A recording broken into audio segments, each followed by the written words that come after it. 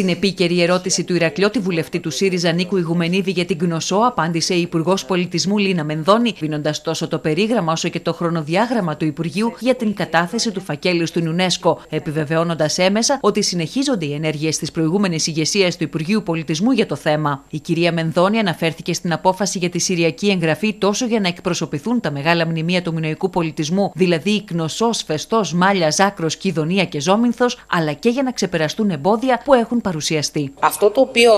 μας ανάγκασε να, γιατί εντό, εντός και εκτός εισαγωγικών η λέξη ανάγκασε, να ε, καταφύγουμε σε μια συριακή εγγραφή των ανακτόρων και όχι μόνο στην Γνωσό, είναι αυτό το οποίο υπονοήσατε, νομίζω, αν κατάλαβα καλά, ότι στην Γνωσό υπήρξαν θέματα κατά καιρούς, τα οποία δημιούργησαν προβλήματα στην προστασία και στην εικόνα εν τέλει που παρουσιάζει ο αρχαιολογικός χώρος.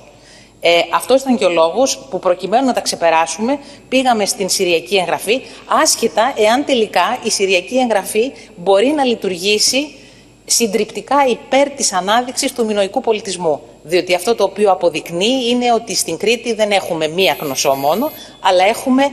πολύ σημαντικά, σοβαρά ανακτορικά κέντρα που παρήγαγαν τον πολιτισμό τον οποίο όλοι θαυμάζουμε. Η αρχαιολογική υπηρεσία θα είναι σε θέση να καταθέσει το φάκελο στον επόμενο 1,5 χρόνο, χωρίς η Υπουργός να διευκρινίζει τους ακριβείς λόγους αυτής της χρονικής παράτασης. Ενώ την ίδια ώρα η αξιολόγηση του αντίστοιχου φακέλου για την ένταξη της Πιναλόγκας συνεχίζεται κανονικά. Αυτή τη στιγμή είμαστε σε μια φάση να απεμπλέξουμε την διαδικασία, ακριβώς όπως σας είπα, το Υπουργείο Πολιτισμού να διαθέσει εκείνο κονδύλια για την πρόσληψη του προσωπικού και τα χρήματα της προγραμματικής σύμβασης να ε, πάνε σε γενικότερα θέματα όπως είναι οι τοπογραφήσεις, όπως είναι άλλου είδους τεκμηρίωση. Επομένως αυτό απεμπλέκεται και θέλω να πιστεύω ότι μέσα στον επόμενο 1,5 χρόνο, δυστυχώς δεν μπορεί να γίνει νωρίτερα, η αρχαιολογική υπηρεσία, η κεντρική και η περιφερειακή, θα είναι σε θέση να καταθέσουν το φάκελο υποψηφιότητας. Υποστηρίχθηκε από ειδικό κλιμάκιο του Υπουργείου Πολιτισμού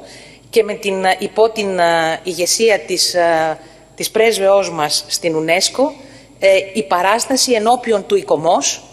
για τη Σπιναλόγκα, γιατί αυτό είναι μέσα στα προβλεπόμενα, προκειμένου ε, να συνεχίσει η αξιολόγηση του φακέλου.